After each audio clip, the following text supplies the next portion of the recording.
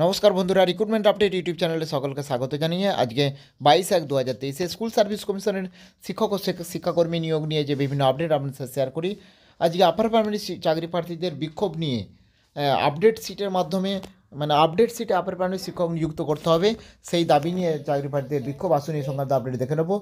তার আগে বলি, যদি চ্যানেলটা আপনারা সাবস্ক্রাইব করে না, তখন প্লিজ সাবস্ক্রাইব করে নেবেন, নানা ধরনের লেটেস্ট আপডেট পাওয়ার জন্য, চাকরি খবর পাওয়ার জন্য, শিক্ষা জগত খবর পাওয়ার জন্য। আপডেট শূন্য পদে শিক্ষক নিয়োগ করতে হবে। নিয়োগের দাবি নিয়ে হুঁশিয়ারি চাকরি প্রার্থীদের সরকারি বিজ্ঞপ্তি মেনেই মানে শূন্য পদ আপডেট করে নিয়োগের দাবি করলেন উচ্চ প্রাথমিক বা আপার প্রাইমারি চাকরি প্রার্থীরা তাদের হুঁশিয়ারি দাবি পূরণ না হলে মাতঙ্গিনী মূর্তির পাদদেশে বিষের পুটুলি নিয়ে বিক্ষোভ বসেন তারা। দাবির সপক্ষে তাদের যুক্তি, শূন্যপদ আপডেট না হলে অনেকেই চাকরি থেকে বঞ্চিত হবে দ্রুত নিয়োগের জন্য মুখ্যমন্ত্রী হস্তক্ষেপ চেয়েছেন তারা।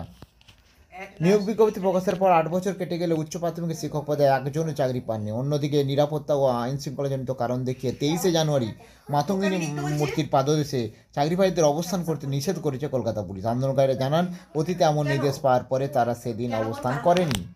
তো উচ্চ প্রাথমিকের স্তরে সহকারী শিক্ষক নিয়োগের মেধা তালিকা প্রস্তুতির ক্ষেত্রে বিভিন্ন সতর্কতা গ্রহণ করেছে স্কুল সার্ভিস কমিশন। মেধা তালিকা থেকে যতটা সম্ভব নিখুঁত করা যায়, তার লক্ষ্যে যাবতীয় সত্য কুটিয়ে যাচাই করা হচ্ছে। সেই কাজ প্রায় শেষের পর্বে এই মাসের মধ্যেই তা সম্পন্ন হয়ে যাবে বলে মনে করছেন কমিশনের সভাপতি।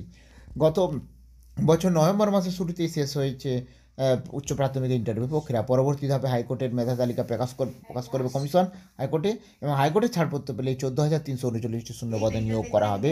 মেধা তালিকাভুক্ত প্রার্থীদের। প্রায় চোদ্দ হাজার প্রার্থীর ইন্টারভিউ দিয়েছিলেন। তো সম্প্রতি স্কুল সার্ভিস কমিশনের চেয়ারম্যান বলছেন, আমরা আশা করছি জানুয়ারির মধ্যেই এই মেধা তালিকা প্রকাশ হয়ে যাবে।